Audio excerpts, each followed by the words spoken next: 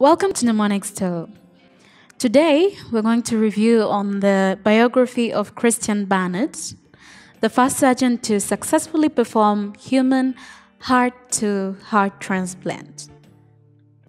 I love you to death, and I'm giving you my whole heart. These are words that are often heard between loved ones, but do you think they're real? Honestly, it's hypothetical. But here's a man who made it possible practically. Christian Neethling Barnard, born in 8 November 1922 in the Union of South Africa. His mother, Maria Elizabeth de Swart, had a saying she always said to her son, you can do anything if you set your mind to it. One of his four brothers, Abraham, had a heart condition that later Barnard would describe it as tetralogy of Fallot. In terms of academics, Barnard went to Beaufort West High School in 1940 and obtained his Bachelor in Medicine and Surgery in 1945. He completed his master's degree and doctorate in medicine for a dissertation titled The Treatment of Tuberculous Meningitis, all in 1953 at the University of Cape Town Medical School. Soon after qualifying as a doctor, Barnard performed several experiments on dogs while investigating on intestinal atresia.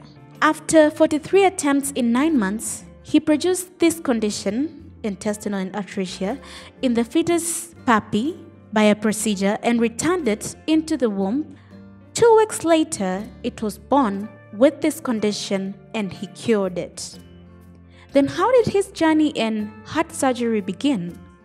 Due to his talent and potential work in medicine, he was selected for a two-year scholarship at the University of Minnesota in United States under the Chief of Surgery Owen in 1955, of which Barnard was assigned more work on intestines, and whenever he needed a break, he could wander across the halls and talk to Vince Gott, who ran a lab for open heart surgery with the pioneer Walt Lillehei. In 1956, Gott asked Barnard to help him run a heart lung machine for an operation, and shortly afterward, Owen Wangensteen agreed to let Barnard switch to Lillehei's service. That's where his journey in heart surgeries began to be promising.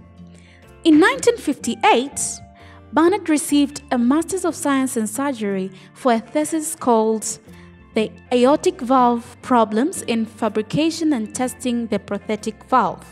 The same year, he was awarded a PhD for a dissertation titled The Etiology of Congenital Intestinal Atresia. Over time, Barnard became known as a brilliant surgeon with many contributions to the treatment of cardiac diseases such as Fallot and Ebstein's anomaly. On January 1964, James Hardy at the University of Mississippi performed the world's first heart transplant for chimpanzee donor, which wasn't successful because the heart pumped only for 60 minutes. For Barnard, he had experimentally transplanted 48 hearts into dogs, but it's sad that no dog survived longer than 10 days, unlike his fellows who had their dogs survive for more than a year. But this didn't make him give up. Louis Washkansky, a 54 year old grocer who was suffering from diabetes and an incurable heart disease, had no hopes of life. Coincidentally,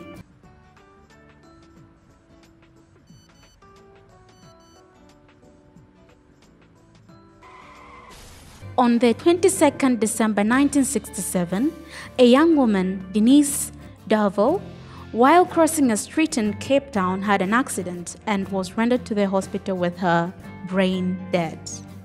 After asking for a concert from Denise Darvall's family, Barnard stated to Washkansky and his wife Anne that he is going to perform a heart transplant and assured them of 80% chance of success.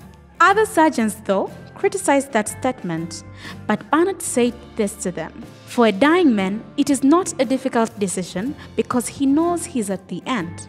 if a lion chases you to the bank of a river filled with crocodiles, you leap into water, convinced you have a chance to swim to the other side. But in his mind, he was covered with the words of his mother, which say, You can do anything if you set your mind. And he chose to perform the transplant. It was early morning on 3rd December 1967 that Barnard performed the world's first successful human heart transplant, and the operation lasted five hours. The operation was reported successful, even though Washkansky only lived further 18 days due to community pneumonia after prolonged immune suppression of the drugs. Dirk Van Zyl, who received a new heart in was the longest lived recipient, survived over 23 years. Other achievements of Barnard include he designed an idea of heterotopic or piggyback transplant in which the patient's diseased heart is left in place while the donor's heart is added, essentially forming a double heart. Barnard performed the first such heterotopic heart transplant in 1974. He also attempted xenotransplantation in human patient while attempting to save the life of a girl who was unable to leave artificial life support after her second aortic valve replacement. In his lifetime, Barnard had three marriages of which all ended in divorce despite his success in medical science. Christian Barnard died on 2nd September 2001 an early report stated that he died of heart attack, but an autopsy showed that his death was caused by severe asthmatic attack. Thank you very much for watching. For much more, visit our channel. Remember to like, share and subscribe to this channel for more.